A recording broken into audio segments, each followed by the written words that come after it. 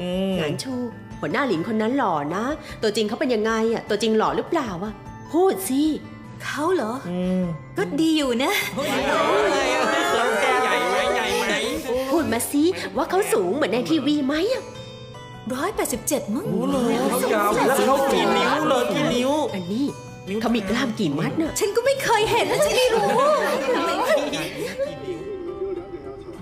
โอ้แสนดีหล่อเท่จังเลยานชูสวยจังสีจื้ออี้กับเหยียนใต้คือเพื่อนร่วมวิ่งเหรอ พวกนั้นก็แค่ตัวประกอบ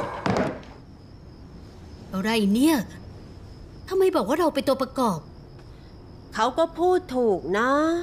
เราจะเอาอะไรไปเทียบกับเขาอะตอนที่เพิ่งมาทำอะไรไม่เป็นสักอย่าง ไม่มีใครรู้จักเขาด้วยซ้ำตอนนี้เขามีสิทธิ์อะไรที่ได้แอร์ไทม์สูงขนาดนี้อะไม่เข้าใจ สิทธิ์ที่เขาโชคดีไง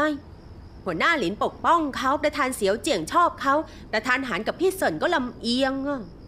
เป็นแบบนี้ถ้าไม่ดังก็แย่แลูกเฮ้ยแต่ถ้าเป็นแบบนี้ต่อไป เราไม่ใช่เพื่อนร่วมวิ่งอะไรหรอกเราก็คือนักแสดงประกอบฉากของคุณหนานเขานะฉันไม่แย้งที่พวกเขาจะดันหนานชู แต่มันชัดเจนเกินไปแถมลำเอียงเกินไปด้วย ก็เราไม่มีโชคเรื่องนั้นน่ะทำไงได้อะ ถ้าฉันเชื่อเรื่องโชค คงไม่มาเป็นนักแสดง พี่เหยียน พี่จะสู้กับเขาเหรอ ถ้าอยู่ฝั่งไหน ต้องอยู่ฝั่งพี่อยู่แล้วสิ ตัวฉันเป็นของพี่ทั้งหมดแหละ ไม่ต้องพูดแบบนี้หรอก